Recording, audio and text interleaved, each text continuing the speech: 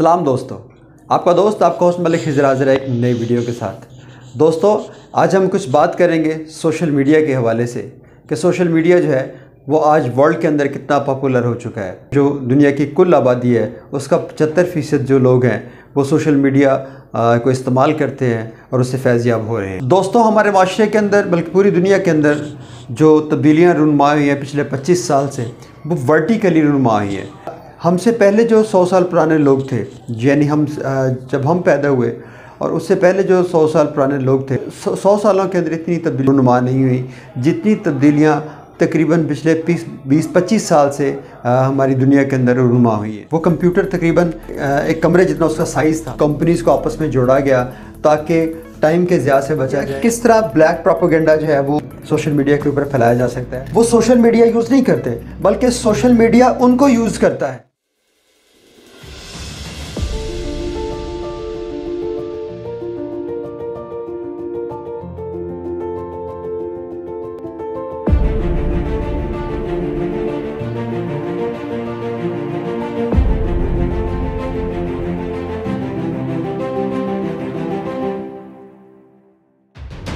दोस्तों, जो आज पचास, साठ, सत्तर सत्तर साल के लोग हैं इस दुनिया के अंदर, उन्होंने इस दुनिया के अंदर जो तब्दीली देखी है। मिसाल के तौर पर, ब्लैक एंड वाइट टीवी से लेकर आज जो एच डी टी वी है, उस तक, और ख़त, किताबत से लेकर आज होलोग्राम जो टेक्नोलॉजी आ चुकी है इंटरनेट के ऊपर, उस तक इतनी ज़बरदस्त किस्म की इंसानी ज़िंदगी के अंदर तब्दीली आई है। मतलब तो आप सोच भी नहीं सकते कि आज अगर सपोज़ एक शख्स जो आज से 50 साल पहले जो सपोज़ वो इस दुनिया में नहीं रहा, अगर उसे उठा के दिखाया जाए कि दुनिया कितनी तब्दील हो चुकी है तो वो हैरान कन अंदाज में आप उसकी आँखें खुल जाएँगी कि वो इस दुनिया के अंदर कितनी तब्दीली रूनुमा हुई है। दोस्तों, पहला कंप्यूटर जो वजूद में आया था, वो कंप्यूटर तकरीबन एक कमरे जितना उसका साइज़ था, और आस्ता आस्ता ये कंप्यूटर एक्स तक पहुँचा 90s के अंदर। एक्स टी के बाद आज कंप्यूटर जो है एलेवंथ जनरेशन तक पहुँच चुका है, जिसकी स्पीड जो है, वो उस कंप्यूटर से कहीं ज़्यादा है। उस वक्त 2.5 जीबी का जो एक एक हार्ड डिस्क थी, उसको उठाने के लिए ज़ाहिर है, एक ट्रॉली की ज़रूरत पड़ती थी उसको धकेल के ले जाने की ज़रूरत पड़ती थी।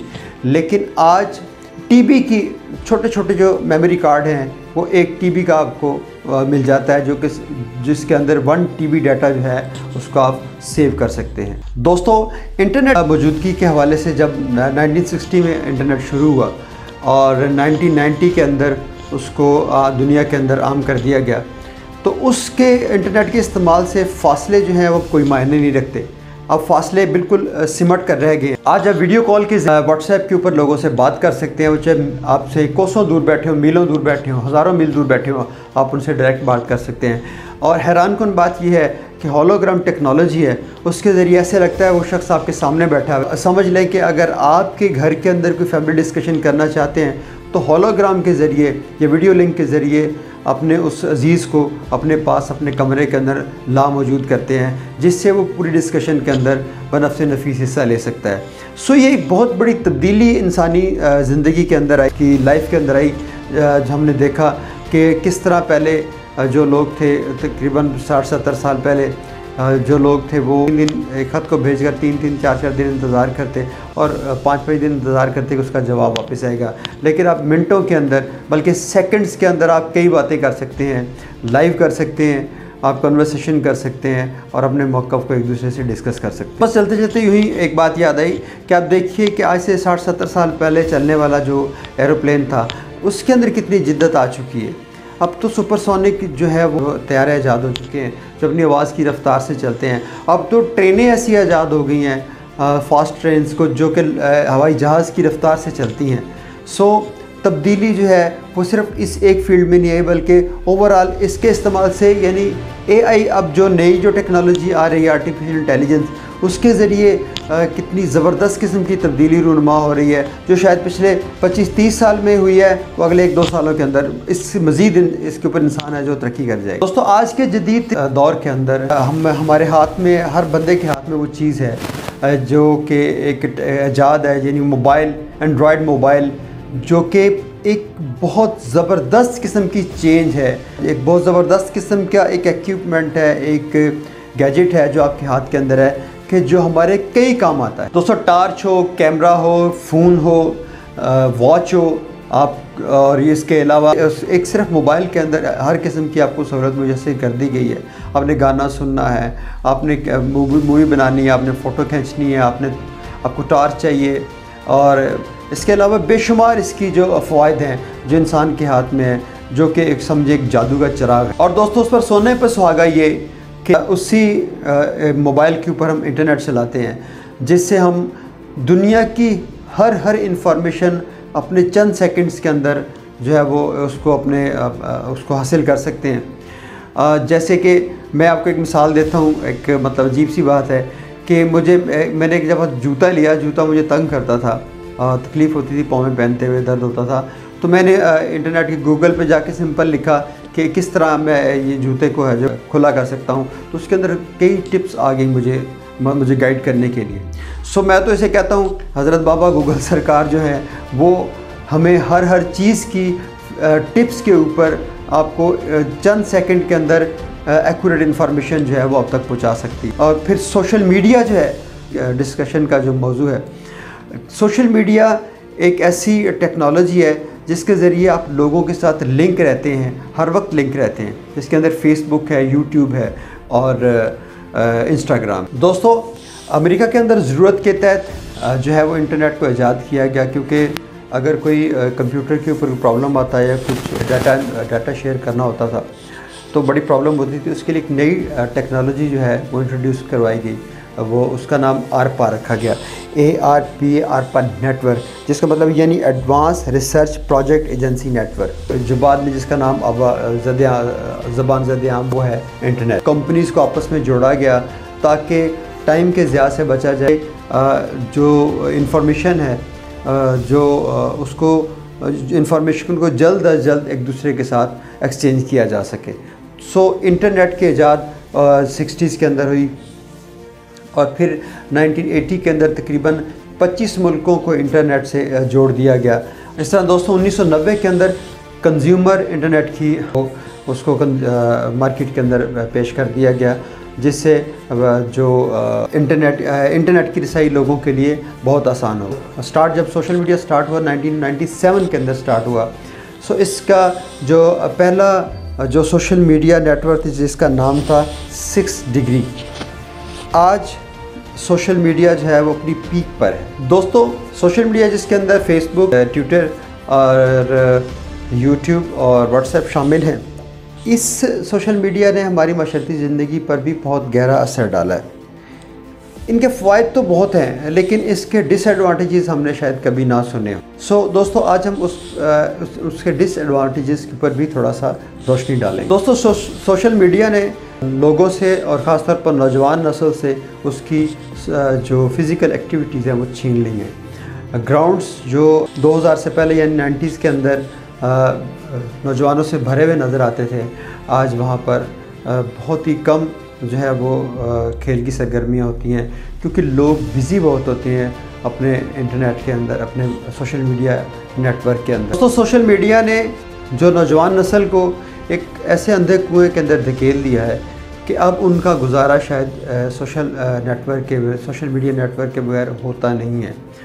एक अंदाजे के मुताबिक इंडिया और पाकिस्तान के अंदर लोग तकरीबन 150 से 160 दफ़ा अपने मोबाइल को चेक करते हैं। और इसके अलावा इसके अलावा याद रहे एक अंदाजे के मुताबिक जो कि एक सर्वे के मुताबिक डेली जो आ, सिंगल यूज़र है आ, सोशल मीडिया का वो तकरीबन 190 से चौरानवे मिनट रोज़ाना सोशल मीडिया को यूज़ करता है। दोस्तों, सोशल मीडिया का एक टूल है। जिस तरह मैंने पहले एक्सप्लेन किया अपनी एक वीडियो के अंदर, जिसका नाम था आर्टिफिशियल इंटेलिजेंस इधर फ्रेंड और foe of the human link मैं नीचे दे दूँगा, आप उसके उसकी मुकम्मल वीडियो को देख लीजिएगा। उसके अंदर मैंने एक्सप्लेन किया कि किस तरह ब्लैक प्रोपोगेंडा जो है, वो सोशल मीडिया के ऊपर फैलाया जा सकता है आर्टिफिशियल इंटेलिजेंस की मदद से। दोस्तों मैंने जिस तरह पहले बताया आपको कि सोशल मीडिया और यानी मोबाइल जो है बेसिकली एंड्रॉयड मोबाइल जिसके अंदर आप सोशल मीडिया यूज़ करते हैं वो किस तरह एक अलादीन का चिराग है जिसको रगड़ कर आप हर हर किस्म की इंफॉर्मेशन है मिशन जो है वो आ, उसको उसको सीख कर सकते हैं और लोगों को बता सकते हैं।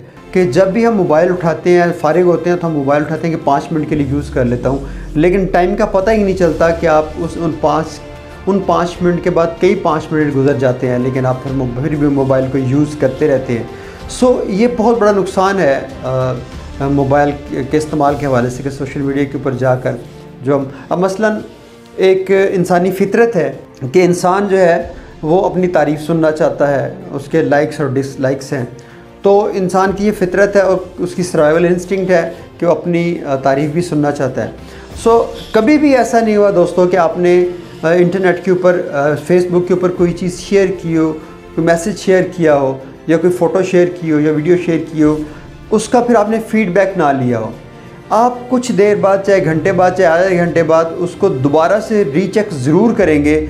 फिर भी आपके माइंड के अंदर एक खुद खुद लगी रहेगी कि आप किस तरह वो उसको दोबारा, अगर सपोज़ आपने एक चीज़ अपलोड की है और इंटरनेट आपसे छीन लिया जाए, वो फैसिलिटी छीन ली जाए तो उसके बाद आप एक अजीब से उसके अंदर बेचैनी के अंदर रहेंगे कि मैं कब वो जो है वो इंटरनेट आता है और मैं कब उसको चेक करता हूँ। इसी को एडिक्शन कहते हैं।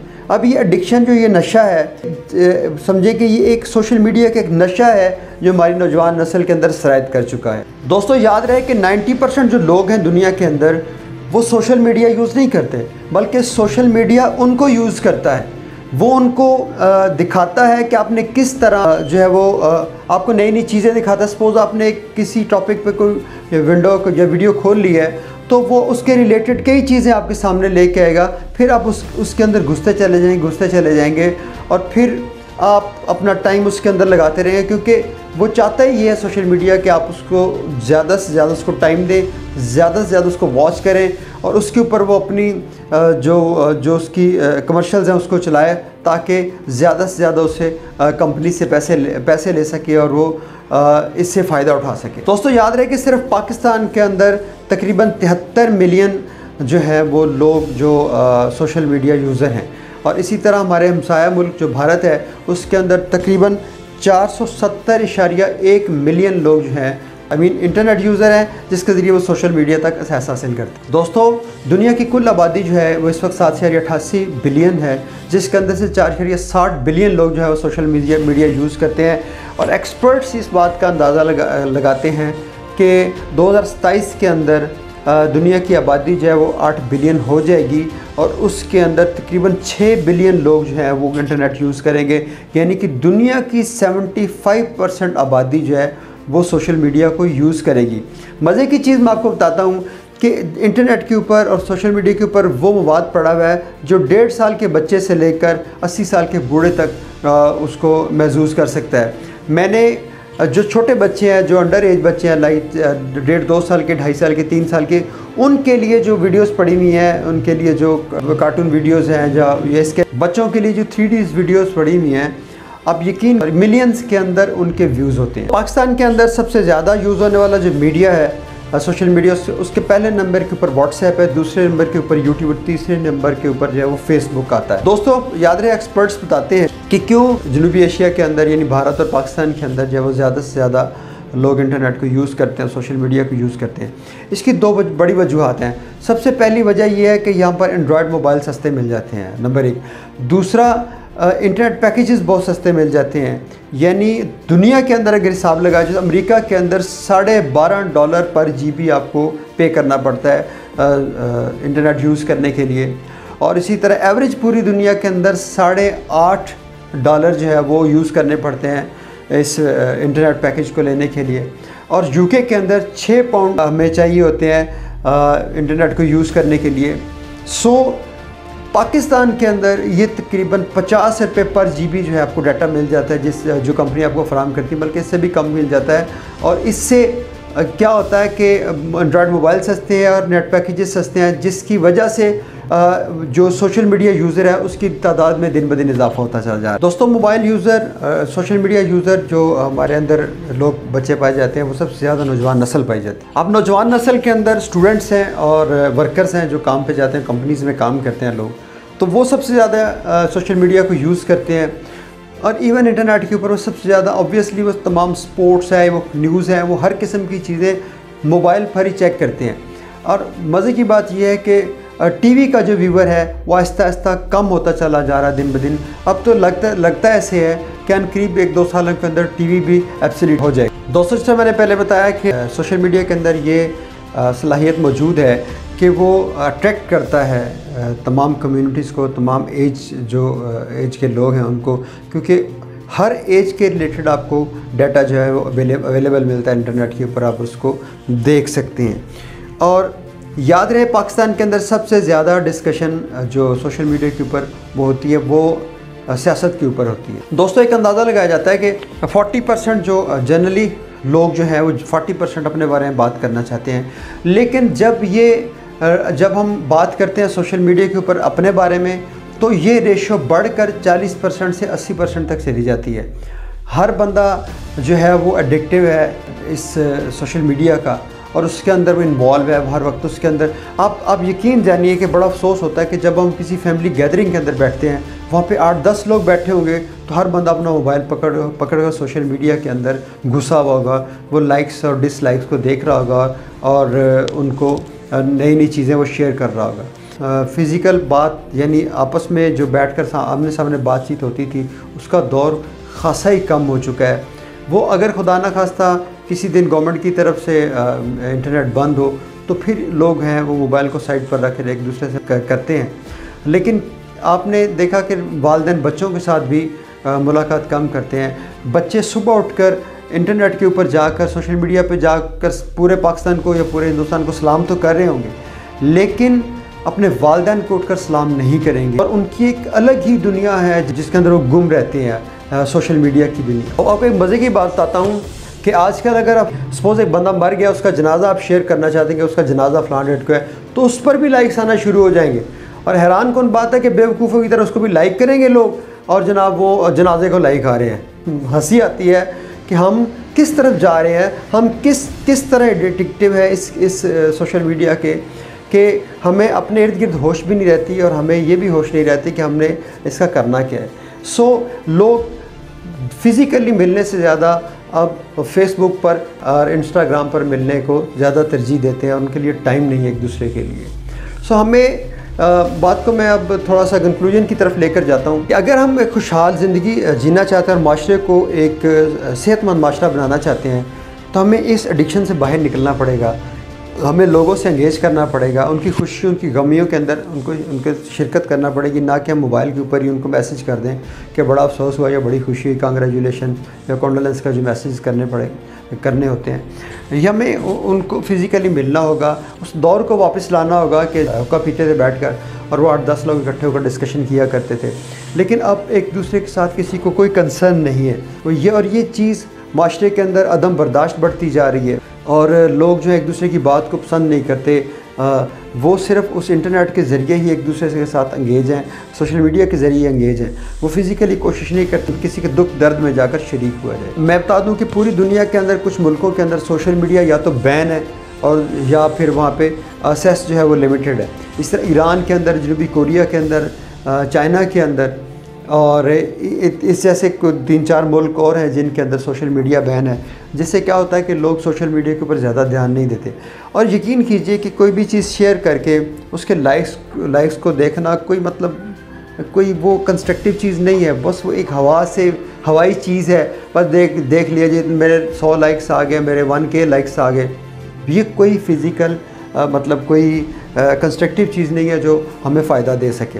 लेकिन इन कंपनियों को बहुत फ़ायदा देती है जिनके एड्स चलते हैं सोशल मीडिया के ऊपर। क्योंकि मैं असल में ये कहना चाह रहा हूँ कि मौजू बहुत लंबा है, बहुत बड़ा है, जिसके ऊपर हम तकरीबन घंटों डिस्कशन कर सकते हैं। लेकिन मैं सिर्फ़ इस मैसेज के साथ, इस वीडियो को कंक्लूड करूँगा कि हमें चाहिए कि हम सोशल मीडिया मेरे एक दोस्त हैं, मिसाल दे जाते जाते मिसाल देता हूँ आपको, मेरे एक दोस्त हैं उनके घर के अंदर एक रूल है कि जब वो घर के अंदर दाखिल होंगे तो उन्होंने मोबाइल यूज़ नहीं करना। मोबाइल को एक साइड पे रख देते हैं किसी जगह पर और सिर्फ़ फ़ोन सुनने के लिए और फ़ोन करने के लिए उसको उठाते हैं उसके बाद उसको यूज़ नहीं करते।